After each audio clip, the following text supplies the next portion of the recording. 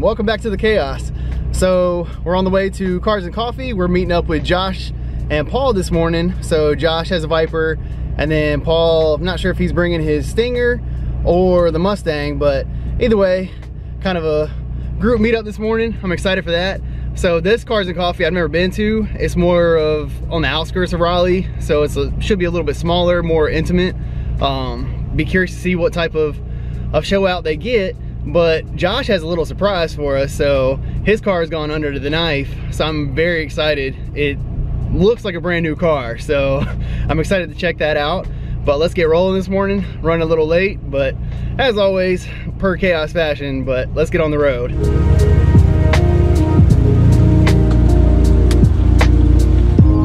Man, it's cold. I don't know if you could tell, but this is probably the coldest weather I've had the car out in. And not that I'm opposed to driving the car all year round. That's kind of the beauty of North Carolina. Like it gets cold, but still manageable. Still take motorcycles out, still take all the cars out as long as there's not like that, that salt mess they put on the road when it's supposed to snow. But yeah, so lucky in that aspect. But yeah, it's cold, but it's it's cool because the car itself kind of reminds me of a dragon. When I was warming it up this morning, turn the car on because it's got the side pipes or whatever like it just I don't know. I thought it looked really neat. I tried to get a shot of it but I think by the time I got to the camera it was too late. But yeah I'm definitely because it is cold though I'm gonna be taking her easy. Um, these kind of summer tires that kind of thing but we're just chilling out waiting for Josh to get here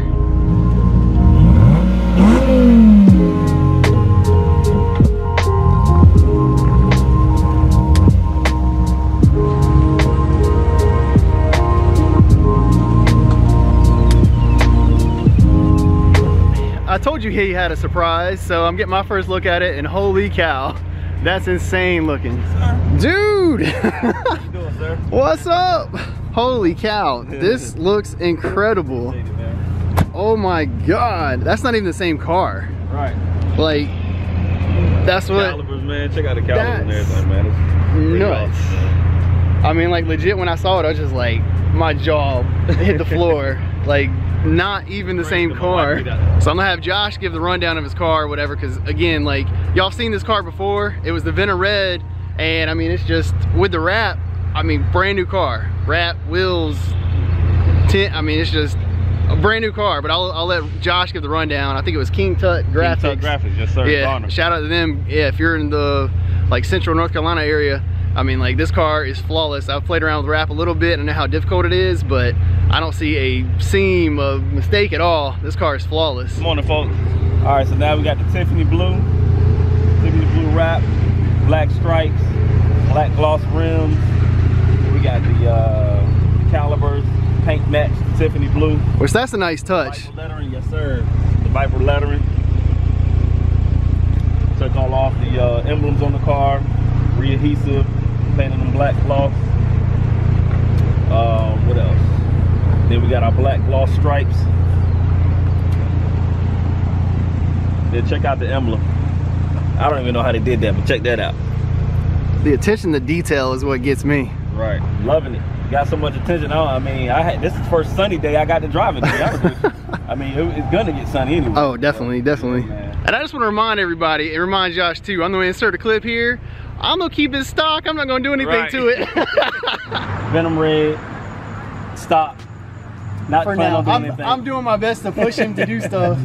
Not planning on doing anything, but one day I might. I may. Coil over the next. you gotta be with the coil over. Then I might throw a supercharge on the next year. Oh, you're getting wild. He's really going all out, but I, I love to see it because that's the thing is like, don't get me wrong, a Viper stock, it's just perfect, but when you start modding them, I mean, you just take it to a whole nother level. And that's impressive to me they actually did the door jamb. So a lot of these kind of, they do it halfway and they, you know, the car looks great. You open the door and you see the original color, but like they went all out. This car is, again, flawless.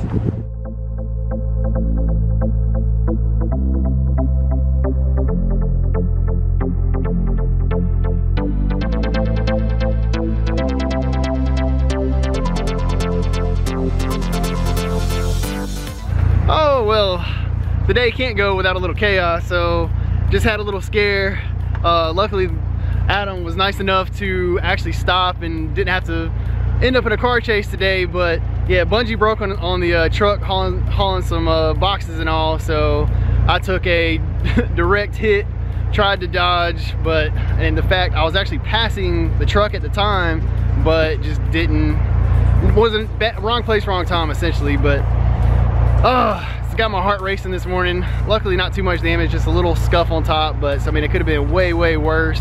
But again, that's, that's life, that's how it goes. Name of the chaos is the name of the game, so.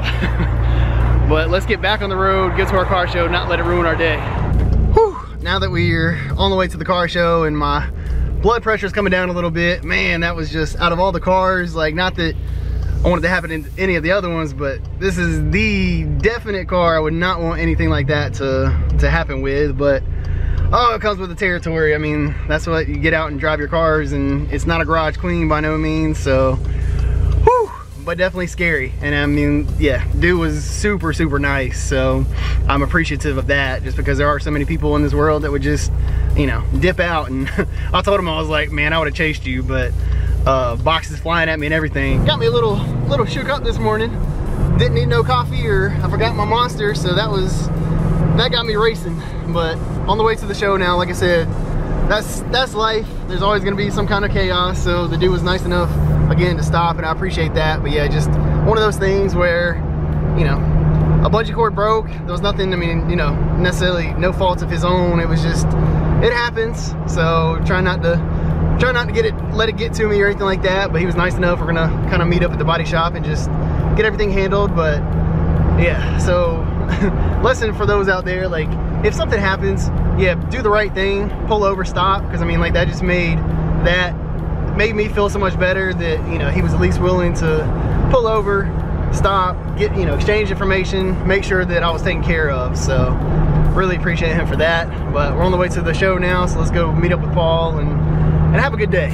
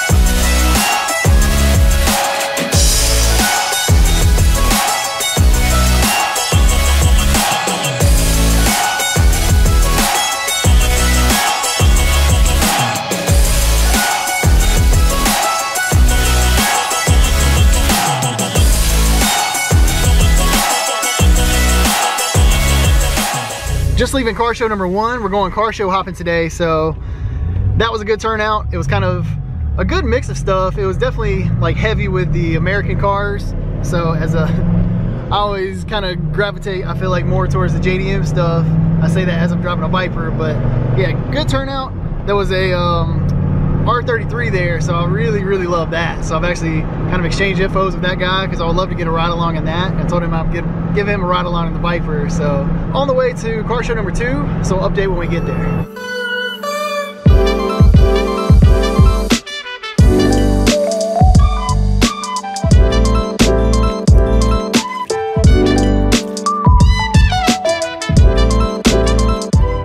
Question number two, and I think we're late to the game, so me kind of getting blasted by boxes this morning kind of set us behind for the first car show, and then, yeah, so now we're late to the second one. I see three cars and that's it, but we'll go check them out.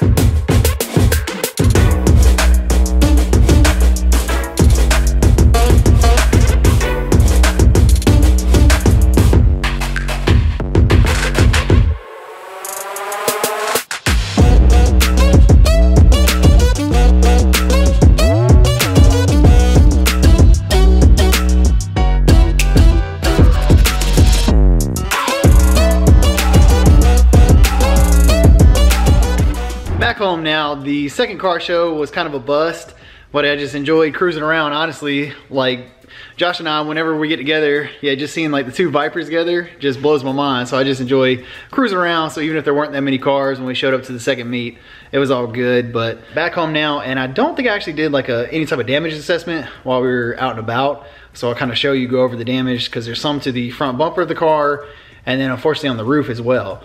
Front bumper I'm less concerned with, but it's the, the roof that's kind of got me really bummed out. So let's take a look.